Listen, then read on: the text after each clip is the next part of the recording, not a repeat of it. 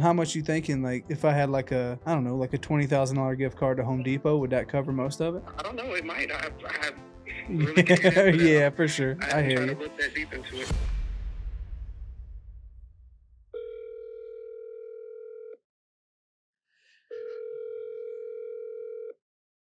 Hello, Hey, is uh Lakeisha around?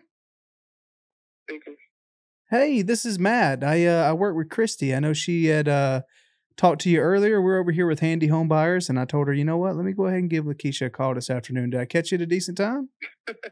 Yeah, okay. Okay, just making sure. Let, I, let me disconnect the last the other line, and then I can really talk to you. okay, Hold on one yeah, yeah, sounds good.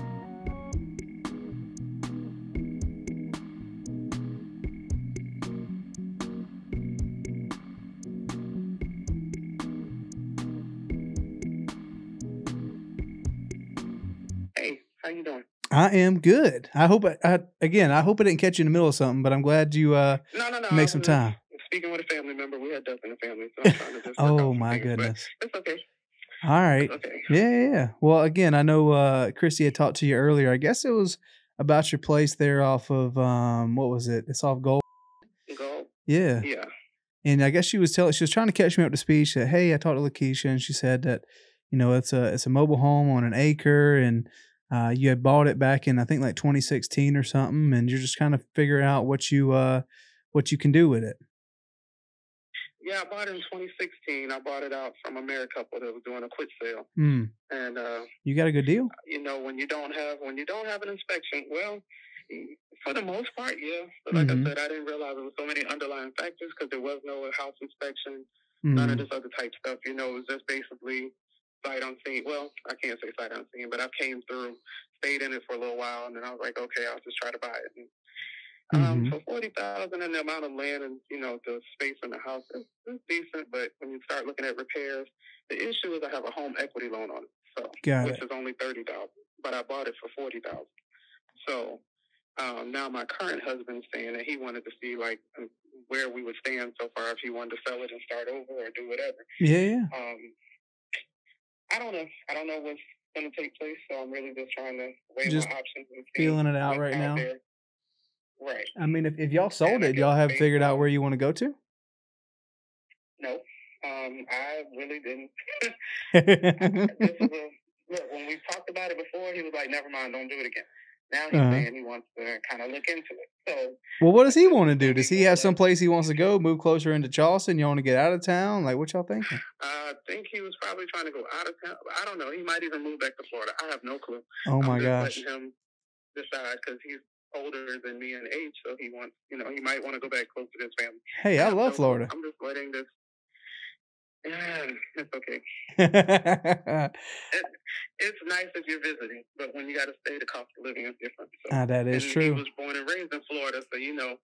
And he was like, everything's high now, and you know, you can't live on Social Security down there. So it's like, Hey, that's no joke. it's a difference. Everything's. So expensive. you get what I'm saying? Damn, how? Well, it's not even just the house. It's just the it's the damn property insurance on half these things because it's so close to the ocean. That's really expensive for insurance. Right.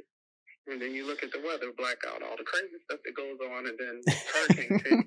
you know, it's Yeah. we're by the water, but goddamn it, we ain't in the water like that. Hey, that that is know? true. That is true. It's funny So, you because know, we uh, a little different standards. Yeah, no, I'm with you. It's funny because I'm at, I'm from South Carolina. I live in Arizona now, so doing this, yeah, we do it all over the country, and it's funny because I was like, wait a second, Goose Creek, all right. I'm uh I'm from Yeah, Le- I'm like, from Lexington, exactly so yeah, yeah, yeah, yeah, Okay, yeah, yeah. that we call down the street or up the road. That's right, up the road. Like an hour and a half away, maybe. yeah, that's the truth. That's the truth. But you guys, y'all are just y'all Yeah, early in the process, and y'all figuring out like, hey, if we actually gonna do this, how much money we gonna walk away with? Because I mean, as of right now, that Right. monthly payment's four hundred fifty bucks a month. That ain't bad.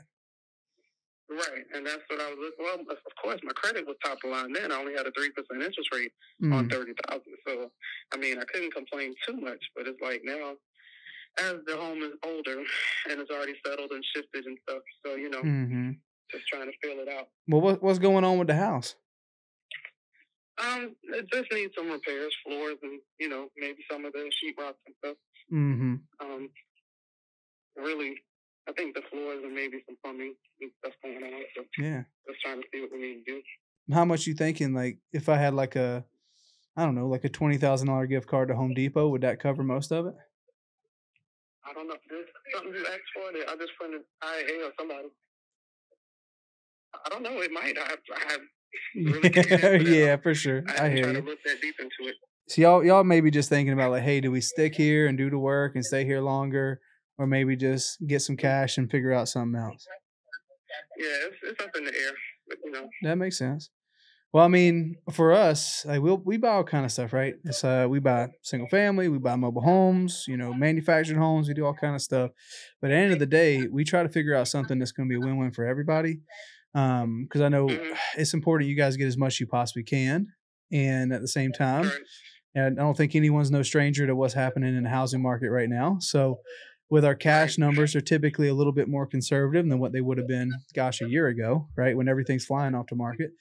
So, you know, if, if we're going to buy something, I think it just depends on, hey, you know, what dollar amount did you guys have in mind as far as this is how much we realistically, this is what we need to walk away with. And maybe that's a conversation you guys need to have together.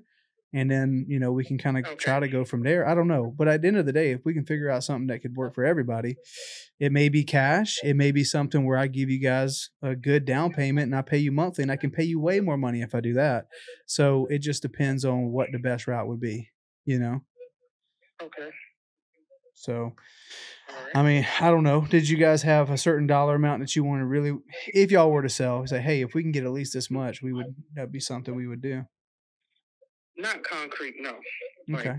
You know, basically trying to see where it stands first and then, Yeah, yeah. you know, try to work around it because, you know, everything is crazy right now.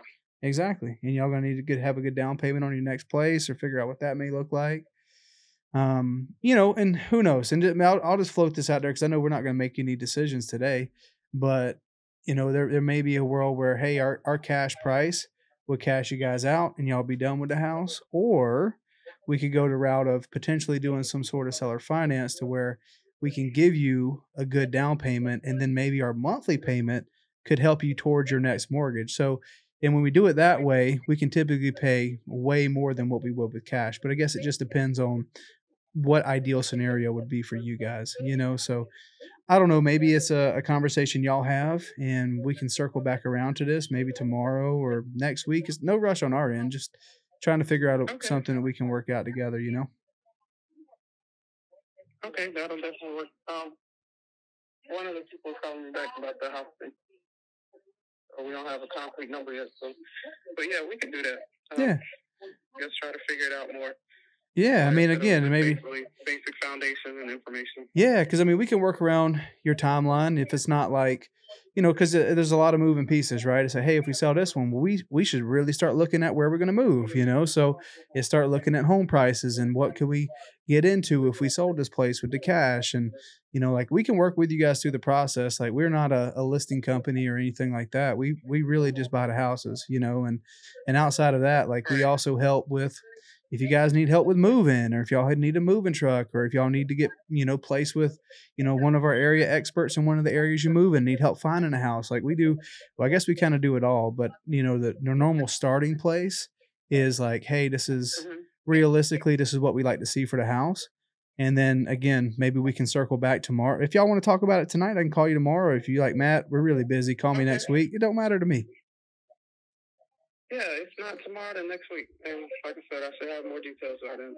Cool. That sounds good. Well, this is uh this is my number, so if you wanted to save it, um my name is Matt and uh yeah, like I said, you know, whenever that is, I'll, I'll shoot you a text and if y'all want if you want to hop back on the phone, if you want to text me, I guess I'll kind of I'll wait on your word and just keep me in the loop and see if we can figure something out cuz I I definitely know we can buy the house. It's just how we go about buying it will be up to you guys. Mm-hmm. Okay. Cool? Right. That like plan. Awesome. Well, I appreciate you, Keisha. Thank you for uh, taking my call and we'll talk soon, okay? All right. Thank you. Yep. All right, bye. One thing you never want to do whenever you're talking, you're trying to negotiate a cash offer. You don't want to throw numbers out. You don't want to start negotiating when someone's not even ready to make a decision. It's almost like you want to disqualify them leading up to the big offer, right? It's, it's called spilling your candy in the lobby. You don't want to throw your offer out there because guess what happens when you throw a number like Lakeisha, for example? I know where I need to be on this house, probably in the neighborhood of like 75 grand if I'm gonna buy it with cash, but I also like to drop out like, hey, I'd rather buy this on terms, but it, it makes no difference if I would have told her my cash price today because there's only way that number is going and it's going up, right? So next time we talk, say, look, 75 is not gonna work. I gotta do 100. So I don't want to give my offer unless she's like, hey, she's already talked to her other spouse, other decision makers, everyone's on the same page. We know exactly what they want to do. Cool, they're ready to make a decision. Now we can start talking X's and O's. And we can actually negotiate and start talking numbers. You'll see that I can be, I'll be really vague if I don't feel like they're ready to make a decision. She's not there yet, but definitely worth a follow up because when the time's right, we want to be there to be able to purchase the house. So that's the name of the game right there.